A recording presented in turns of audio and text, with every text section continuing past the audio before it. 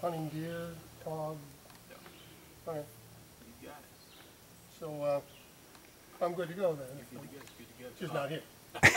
yeah, that's a navigable water. When you get to talking about that, you're good as long as you can navigate in a kayak and get out. As soon as you step out, you're on somebody else's ground. That makes sense.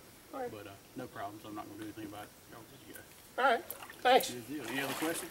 Um, no, I just wondered about, you know, he had urged me to get this, uh, cheap license, cause I'm over sixty-five, and, Yeah, yeah. and I said. uh, 67 yeah, now. I didn't quite understand, I thought, I thought it said something about a duck stamp, a state duck stamp or something, Right, and I, I checked yes, but nothing ever showed up, right. and, uh, I don't know if something should show up, or Uh, no Taylor. How long ago did you do it? just, I just got this license in the mail maybe two weeks ago, Okay, okay. And, and they may closer to duck season. but I would still have to get a federal duck stamp. Right. Okay. So you went over to Cherokee Falls and then come over here?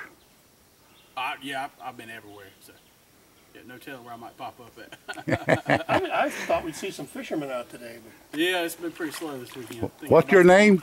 Going to the lake somewhere, so What's your name? Brooks Woodleaf. Nice to meet you. Nice to meet y'all. Yeah, it was nice to meet you.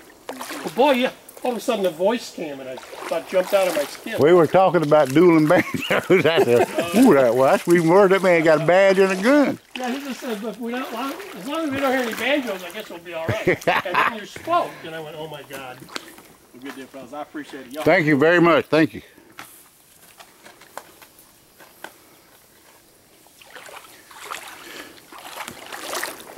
David, you're just trying to get me in trouble every Oh, no, it wasn't no trouble. We're all legal.